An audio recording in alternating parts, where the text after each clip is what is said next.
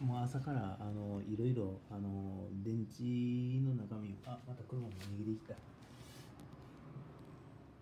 病院へ行きますとか何かそういうことを言って車から降りてきたやつが存在するんですけども意味事情とか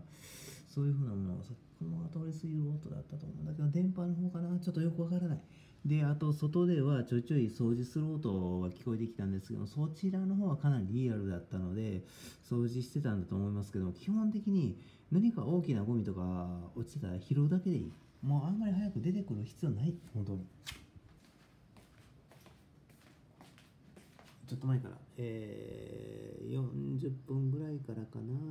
2023年8月の30日で、えー、ゴミ今日プラスチックのゴミが出せなかったのはえー、えー、っとねひげ剃ろうとしたらあの充電池まあそれはアップロードしてるんですけどもあいや今からアップロードするんですけども訂正今からアップロードするんですけども電池充電していたものをえー、ここの中に入れてたんですよ。しっかり充電したものをね。あのここの点灯ランプが完全に緑色になってる状態の時は点滅してる時は充電。で完全に緑色つきっぱなしになってたら、えー、フル充電完了。でそれをここに入れていた。そしたらこの中の電池を、えー、充電できてないものに変えられていたんです。本当に本当に。不法侵入。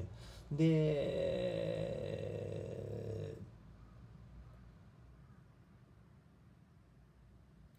その電池を身勝手にあの誰かが使用しているのかどうかそれ集,、まあ、集団暴行の中の一部ですね。威嚇行為とかも含まれます。不法侵入以外でもね。